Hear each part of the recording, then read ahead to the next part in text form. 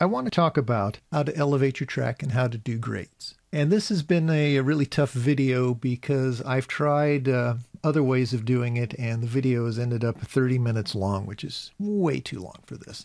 So, what I'm going to do is I'm going to cut it up and um, show you the three different ways to do it. And you can watch uh, all three of the videos, or you can uh, skip to the one that you're interested in. So, here's our track plan. And I made some changes on it. It um, was originally sectional track. I made it flex track because it's going to be a little bit easier to um, show you how to do grades with flex track. And I cut this curve into a couple of different pieces. And let's add one more cut here. And let's add a cut right here, just for the heck of it. Okay, so now we've got five pieces. So it's kind of like sectional track but we're using the flex. Uh, so I can show you how to do it manually here and then how to do it with long pieces of flex out here. But the first thing we want to do is we want to come up here to show. And we want to turn on slope percentages. And then that will put a number in here that tells you what percent grade you have. The next thing we want to do is we want to turn on height so we know how high our track is at each point. So right now Everywhere we have a track connection, we have the nice little round circle that tells us that uh, there's a connection point there. Watch what happens when I turn on height. It goes away. It becomes a zero. Got a zero here, zero here, zero here. It's telling us what the elevation is at each point. Now, if I want to see that connection point, I can hover over it. And then I can right click and do whatever I want to that connection point.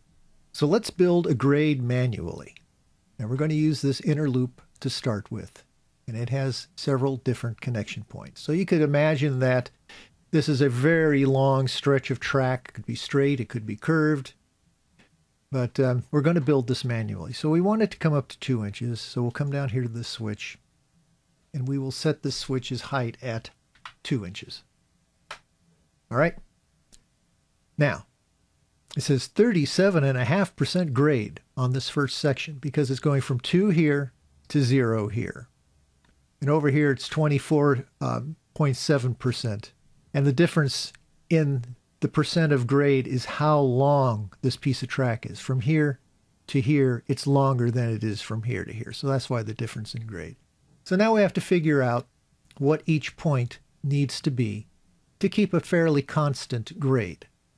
And I know from playing around that 4.1% is what this grade would be.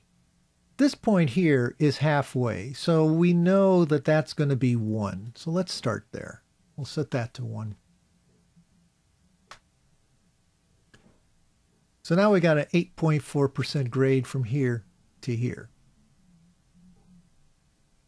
So we can pretty much take a guess. Let's say um, We'll set that height at 0.6 inches. Let's see what we get. Well, we got 4.8 from there to there and 3.4 from there to there. So we guessed wrong. Let's try it again. Let's say 0.5. Pretty close. Pretty close. We got 4% and 4.2%. We could live with that, but we could try and get it a little bit closer if we wanted. Let's try 0.45 and see what we get. Nope, wrong way. Let's try 0.55 and see what we get. We're still off. So you can see it's a guessing game. I want to go back to 0.5. So we got 4, 4.2. Now, we need to figure out this little section right here. So we're at 1 here, and we need to figure this guy out. So let's say it's 1.25. And we get a 4% grade. So we're pretty close. And then over here, it's not quite halfway between here and here, so it's not going to be 1.5. Uh, let's take a guess. let's say it's 1.7 inches.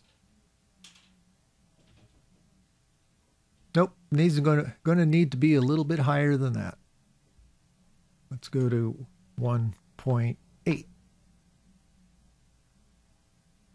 We're close, but as you can see, we don't have a constant grade all the way around, and you have to keep guessing and guessing and guessing. That's not really the best way to do it. Now, out here, it's kind of easy because we know this is going to be 2.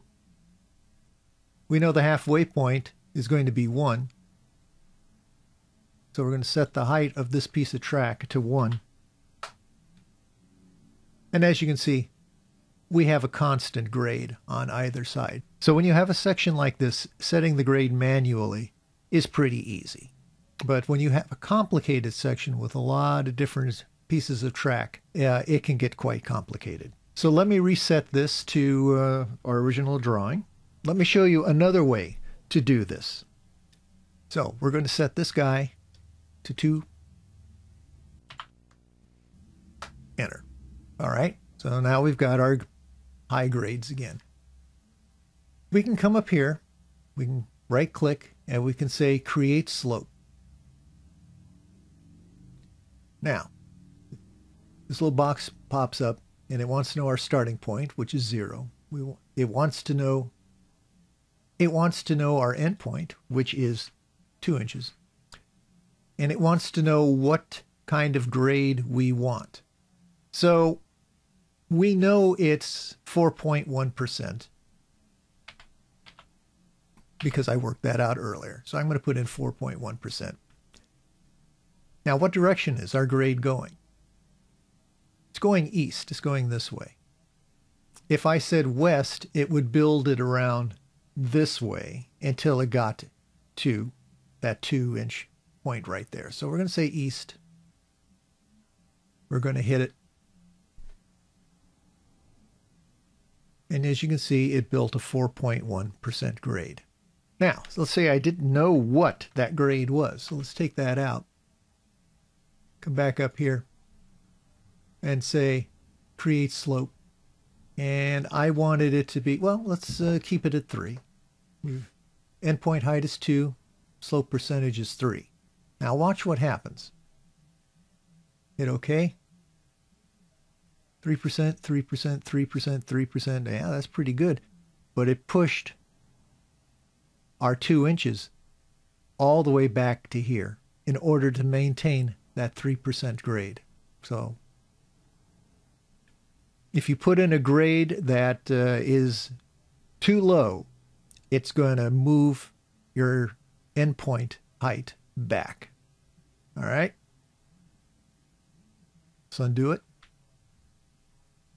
And let's do it one more time. Let's say create slope.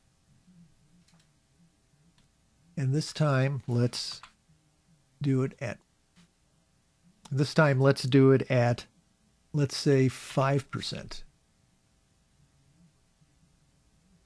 Okay, so our two inch point is still here, but watch what happens to our slope. We've got a 5% here, we have a 5% here, we have a 5% here, and then it changes to 3.7% along here.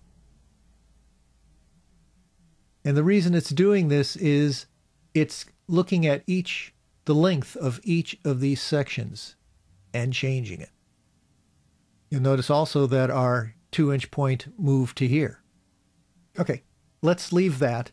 And let's say we want to bring a grade up from this side. And um, what we're going to do here is we are going to cut this piece of flex. Cut it there. So now we have three pieces here. We're going to raise them to two inches to match this. Now I can hold down control and I can select multiple pieces. I can right click and I can set the height for all of them. So they're all going to be 2. We want our zero point to be right about there. We're going to hit create slope. And point's going to be 2 inches. And let's say, oh, 3, 3%. We want to go west because we're going this way. There's our slope.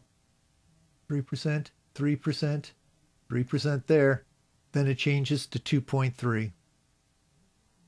And it actually moved this piece to 2 inches because it said with that grade, I can hit 2 inches here. One more thing before we go, let's add some elevation to our industrial siding. So let's go over here, let's select the switch. Let's select that piece of track. Let's give them a height of, say, two and a half inches, because they're coming up from two inches down here. We'll hit OK. So I got a 2.8% grade coming up.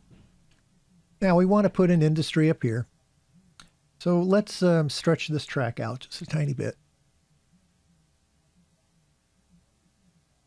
And we want our building to be somewhere in here. So let's cut our flex. Select this guy. And let's make him a little bit higher. Let's make him, say, uh, at 3 inches. So as you can see, we got a pretty good slope here. Now, I could do two things. I can uh, go here and say create slope. Starting at 2.5, I'm going to 3. Uh, the slope is probably somewhere around uh, 2%. We're going to go east because we're going that way. Hit OK. And there we got 2% there, 1% there. And it comes up to 3. And this whole section is at 3, so your cars won't go rolling backwards. There's one other way to do that. I'm going to jump ahead a little bit. I'll explain uh, this a little bit more in the next video. But there's another function. I can click on that track, hold down control, click on that track, and you'll see I have smooth slope up here. Click that. Now we've got a constant grade of 1.9% coming up here. And I'll explain the smooth slope in the next video. It's It gets kind of complicated, but that's two ways that you can add elevation to the industrial siding. So that's two ways to build a grade, one doing it manually and one doing it with Create Slope. And it also shows some of the oddities about uh, Create Slope. In the next video, we will go over Smooth Slope and how it does and does not work. As usual, any comments or tips on uh, this video, please let me know. And we'll see you next time when we tackle Smooth Slope.